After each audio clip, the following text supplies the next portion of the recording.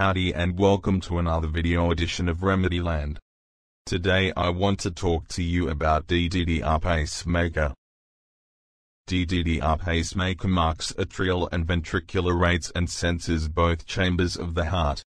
DDDR pacemaker has a sensor that records a need for higher cardiac output and can regulate the heart rate automatically. If the heart natural pacemaker function is failing, the DDDR pacemaker can take over their role and ensure further smooth functioning of the heart. Sometimes they are referred to a dual-chamber pacemaker with adaptability, and can be adapted to the special needs of every patient who needs this type of pacemaker.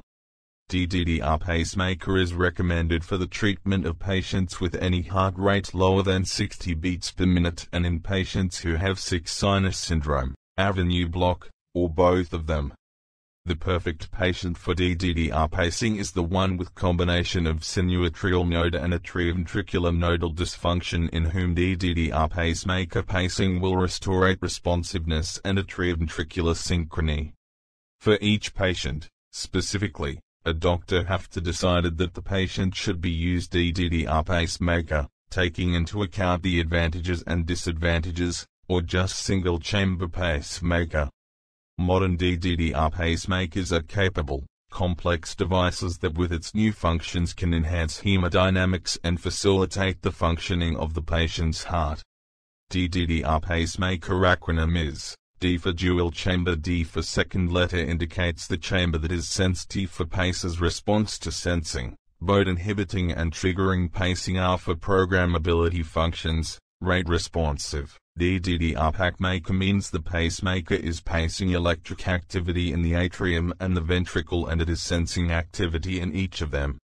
When it senses an event, it is going to either trigger a response or just inhibit pacing, and the rate is responsive. The therapy for bradycardia with pacemakers remains one of the greatest healthcare accomplishments of the 20th century.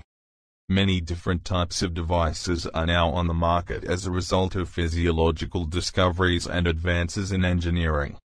The majority of DDDR pacemaker system malfunctions are benign, but some can be life-threatening such as collapsed lung, blood building up in the pleural cavity, gas embolism, perforation, dislodgement, diaphragmatic stimulation, pericardial tamponade, hematoma, pacemaker infection, blood clot.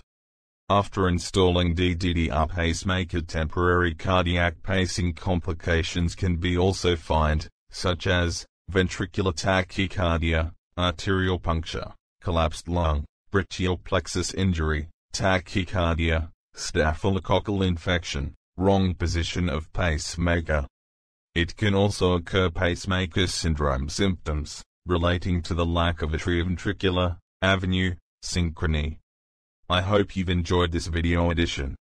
We'll see you again on another video edition of Remedyland. Take care.